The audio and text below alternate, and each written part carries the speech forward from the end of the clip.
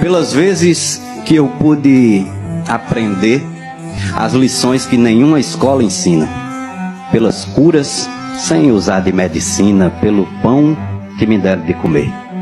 Pelas vezes que, mesmo sem saber, fui guiado seguindo os seus sinais, enfrentando meus medos mais brutais com o escudo do metal da proteção. Vou pintar com a cor da gratidão os cabelos prateados de meus pais. Pelas aulas de vida que ganhei de quem mais entendia da matéria, por aquela cara feia, firme, séria, que eu vi quase sempre que eu errei.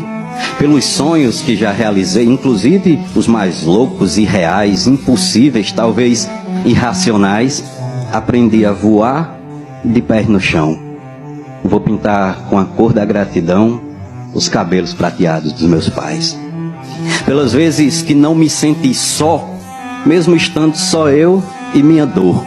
Nessas horas eu sentia esse amor me abraçando e apertando feito um nó.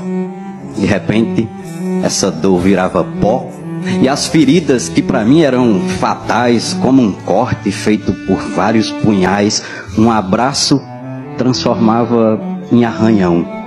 Vou pintar com a cor da gratidão os cabelos prateados dos meus pais.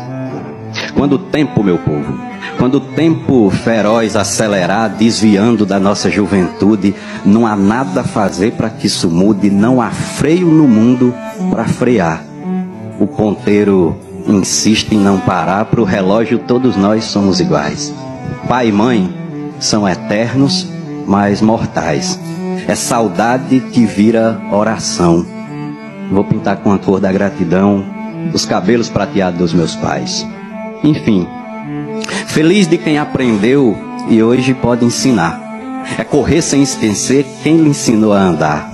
Feliz de quem dá amor para quem só fez lhe amar. Feliz de quem pode ter companheiros tão leais. Feliz de quem agradece com sentimentos reais. Feliz do filho que vira um dia pai de seus pais.